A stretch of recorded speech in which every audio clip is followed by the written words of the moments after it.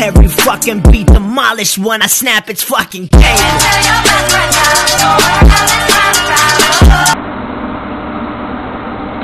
So, what's up guys?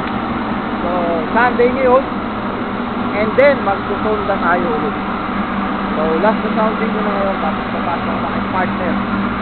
O, siguro kasi kami nagpapasok sa So, nandito ako ngayon sa purifier room. Yan. HFO purifier. Diesel. Yan. Good oil. Yan, good oil.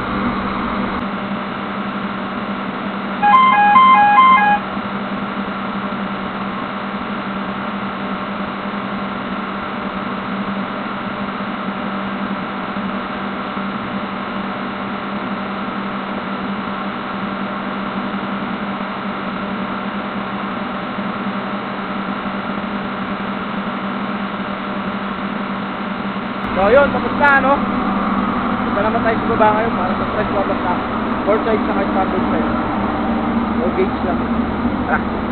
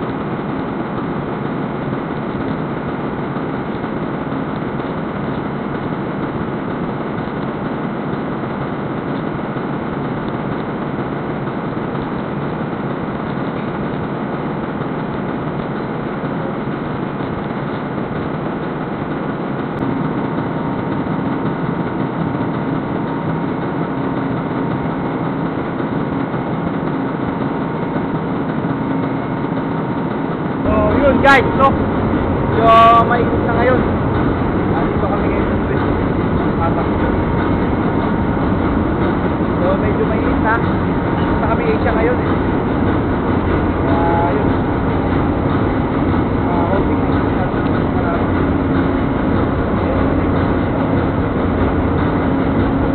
Wala lang, inom na maraming tubig. So, itong ginagawa ko ngayon is, ina-transfer ko yung naman ng scavenging box papunta sa box. No? Dahil, ah, ang ano niya, may gravity. So, ito yung valvula,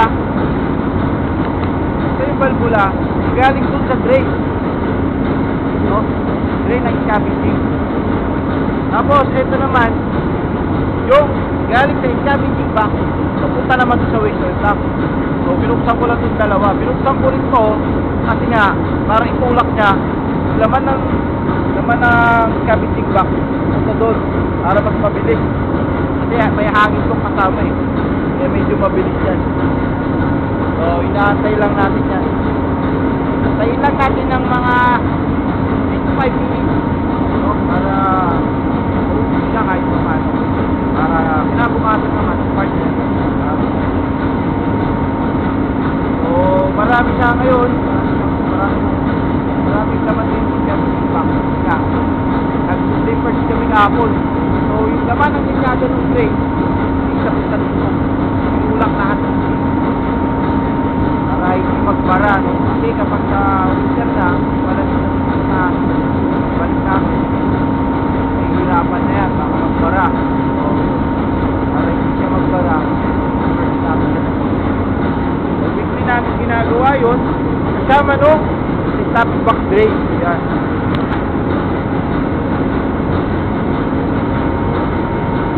Yan. Yan naman yung stop back drain. No? So, yan. Yung visual na nakikita nyo, cranking door yan. Diyan makikita yung crankshaft. Good rod, electric rod, may bearing, guide shoe, Kaya may. Tapos yung yun, yung malaki, yun ang flywheel. So, turning gear. So, malaki kasi itong barko. Ah, 80 cylinder siya. Ah, sorry, sorry. 60 cylinder. 88. Walo. Sa makina. Walo.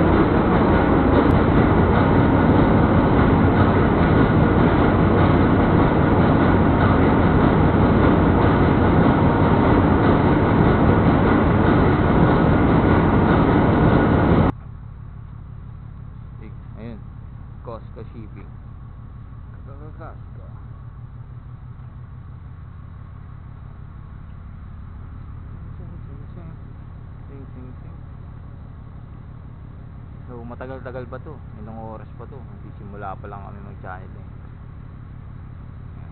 Ganda, di ba? Ang ganda ng view. Stig. So, umakyat talaga kami sa taas para makita yung view. Gaano kaganda.